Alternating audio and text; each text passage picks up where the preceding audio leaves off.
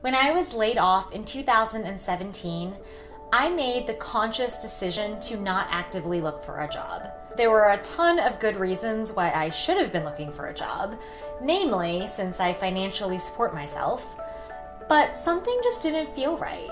My gut was telling me to take some time for myself and that the perfect job would come find me.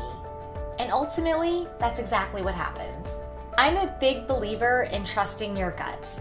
Your gut or your intuition is a sense of knowing something without any logical reasoning, which flies in the face of everything that we've been taught when we were younger, which is to rely on logic and reasoning and not our emotions. We discount intuition because we feel that emotions and feelings somehow aren't as valid as facts and figures. But if you think about it, as much as we'd like to think that we are rational beings, we're really not. We make decisions all the time based on a small amount of information, or we cherry pick the facts that support the choices that we knew we wanted to make all along. Your gut is what tells you when something feels off. When you're in a situation that just doesn't seem right and you get that knot in your stomach or chills down your spine. Or more practically speaking, your intuition is what tells you to bring an umbrella even when the forecast did not call for rain. Your intuition is your subconscious mind recognizing patterns that it's seen over years of experience. So, should we always rely on our intuition? Not necessarily. One study showed that in cases of empathy, when you're trying to understand what another person is going through, it's much better to get all of the relevant information rather than relying on just your gut instinct. Also, when it comes to simple decisions such as researching what laundry detergent to buy or what's the fastest route to work, in those instances, relying on facts and figures makes a lot more sense.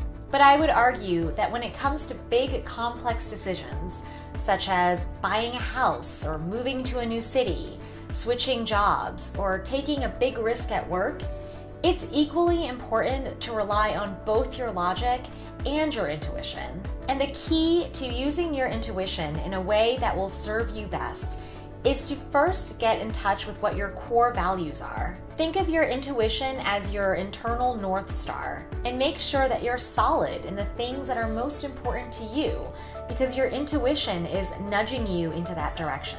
When I left my job and decided not to find a new one right away, I had done my due diligence and made sure that I had enough funds to cover my basic needs. But I relied on my intuition to guide me the rest of the way. Deep down inside, I knew that this was the right decision for me because it aligned with my core values at the time, which was prioritizing my mental health spending time with my family and friends, and pursuing my creative passions. Your intuition will not predict the future or guarantee a successful outcome. But if you are clear in your values, then you can feel good about trusting your gut and knowing that whatever decision you make is the perfect one for you.